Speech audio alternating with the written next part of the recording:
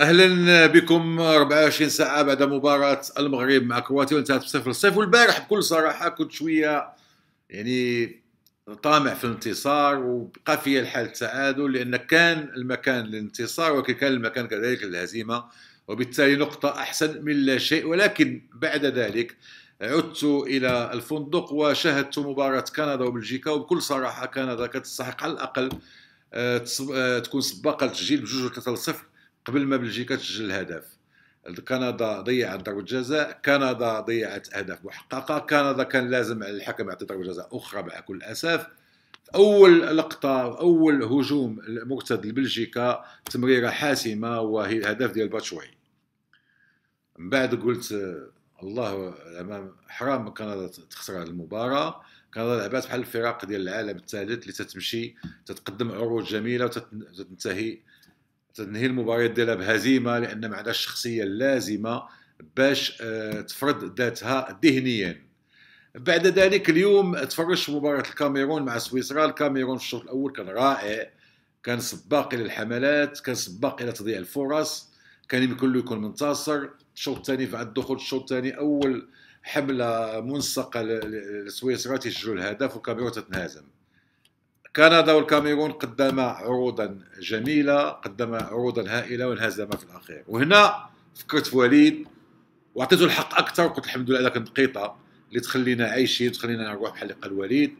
اللهم نتعادلوا ونكونوا ماشي آه، يعني آه، فعالين بحال اللي كنا البارح في الهجوم ولا نخسروا ولا نقدموا عرض جميل ونخسروا بحال اللي وقع لنا في روسيا وبحال اللي وقع لنا شحال مرة في تاريخنا. هزيمة الكاميرون وكندا أعطت الحق لوليد الرقاري وأقنعتني بأن وليد كان على حق في عدم تقبل الهزيمة عدم المجازفة عدم إعطاء الفرصة للفريق الكرواتي باش يدير علينا مرتد خصوصا الفريق الكرواتي كبلجيكا وكسويسرا خصوصا بلجيكا عنده لاعب في وسط الميدان اللي يقدر في أي لحظة يعطيك يعطيك واحد التمريره آه، عمودية واللي تسجل بها الهدف. مودريتش ودو بروين هما من أحسن آه، وسط العالم في آه، أحسن وسط الميدان في العالم. لا مودريتش لا دو بروين وبجوج لعبوا ضدهم.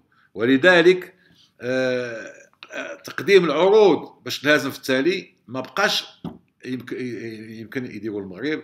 داروا في 70 داروا في 86 رغم إنه تأهل الدور الثاني.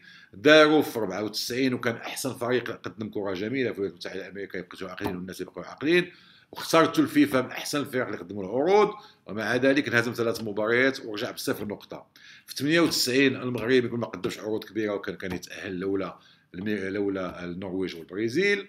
في 2018 المغرب خذ نقطة واحدة وقدم عروض جميلة خصوصا ضد البرتغال وإسبانيا ولا أحد يتذكر العروض. يعني في هذه المشاركة ديالنا السادسة عند الحق الجمهور الكروي المغربي عند الحق الشعب الكروي المغربي يكون آه، يطلب النتائج ويطلب التأهل ويطلب آه، يعني التألق.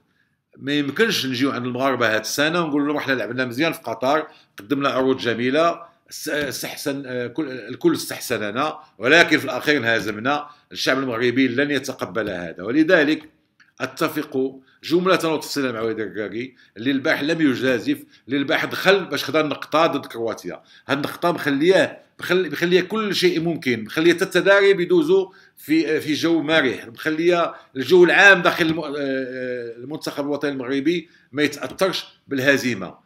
آه، صحيح أن بزاف المغاربة يقول لك لا وليد خصو يلعب لكن بعد تشوفوا كيفاش انهزمت كندا وكيفاش انهزمت اليوم. انهزم فريق يعني الكاميرون تيفهموا عكس ذلك آه، لا السعودية اللي قبلات حتى هي ولكن سجلات انتصرت بكفاح ولا اليابان البحث مع ألمانيا اللي كان يمكن لها تكون خاسرة في الشوط الأول بثلاثة ولا أربعة صفر ولا في الشوط الثاني منين نزلات آه، ألمانيا آه، الوتيرة. قدوا يسجلوا هدفين وكانوا يسجلوا الهدف الثالث وانتصروا على ألمانيا في إنجاز تاريخي. السعودية و اليابان عطونا درس في الواقعية الكروية لأن حتى هما تأهلوا شحال مرة في كأس العالم حتى السعودية تأهلت المره السادسة وما بقاش الجمهور السعودي تيتقبل آه، آه، يعني المشاركة بدون فعالية وبدون نتائج. ولذلك من بعد تشوف هذه المباريات كيفاش تلعبوا تشوف كيفاش لعبات كندا مع بلجيكا وتشوف كيفاش لعبت الكاميرون اليوم مع سويسرا وكيفاش نهزموا تتقول وليد عنده الحق فلنثق في وليد لنثق في المنتخب الوطني المغربي. تقولوا لي حتى المباراة بلجيكا حتى هي يكون عندنا نفس المشكل لأن يعني عندهم دو بروين وإلا هجمنا وخلينا لهم المساحات. دو بروين في لقطة واحدة يمكن له يعطيك تمريرة عمودية وعنده رغم غياب لوكاكو عندك باتشواي لاعب ممتاز ويقدر يسجل بحال البارح في أي لحظة. ولذلك ساب مباراة بلجيكا تنظن بأن وليد سيلعب أكثر مجازفة لأن يكون عنده ليسباس أكثر من كرواتيا ولكن لن يجازف أكثر من اللازم بل سيبحث عن الانتصار ولكن بالغفلة. لن يبحث عن الانتصار بهجومات مسترسلة وضغط كبير لأن الضغط الكبير ديال المنتخب المغربي إلى رافقته هجمة مضادة واضحة ديال بلجيكا ثقوا بيا يكون عندهم امال باش يسجلوا علينا لأن عندهم وسط ميدان واحد من المستوى العالي والعالمي. ولذلك حتى المباراة بلجيكا تنتظرها. يمكن أقل أقل تكون مقفولة أقل من مباراة كرواتيا لأن المنتخب البلجيكي لا يشبه المنتخب الكرواتي. المنتخب البلجيكي تيخلي les espaces ولكن تنظن وليد لن يجازف في مباراة بلجيكا. وسيبحث على نقطة ثانية بحال اللي كان دار فاريا في 86 خصنا نفكروا في 86 في الموديل اللي اهلنا آه، في 86 كنا بدينا بالتعادل مع النرويج لكن مباراة البرازيل أنا ذاك خسراتنا. ورغم الانتصار البين على اسكتلندا ما دزناش انا بقينا dépendants آه، ديال l'autre match اللي هو النرويج مع البرازيل. فالآن الآن خصنا مع بلجيكا ما نهزموش.